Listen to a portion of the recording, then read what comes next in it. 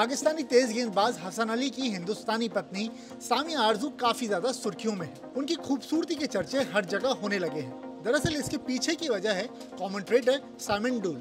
Simon डूल ने उन्हें देखते ही वाओ वाओ कहना शुरू कर दिया। मज़े की बात यह है कि साइमन डूल उस समय कमेंट्री कर रहे थे। दरअसल इस्लामाबाद यूनाइटेड और मुल्तान सुल्तान के बीच पाकिस्तान सुपर लीग के खेले गए मुकाबले में साइमन ड्यूल ने हसन अली की पत्नी पर ऑन एयर ही कमेंट किया। ये जो मैच चल रहा था, इसमें मुल्तान के ऊपर इस्लामाबाद ने रोमांचक जीत दर्ज की थी। विजेता टीम जब जश्न मना रही थी तो फिर सामन ड्यूल कमेंट्री कर रहे थे। उसी दौरान कैमरामैन ने हसन अली की पत्नी सामिया पर फोकस किया। सामिया को देखते ही सामन ड्यूल के मुँह से वाव निकल गया।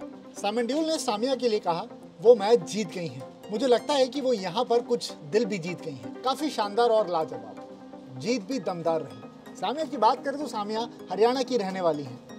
साल 2019 में दुबई में उन्होंने हसन अली के साथ शादी की थी।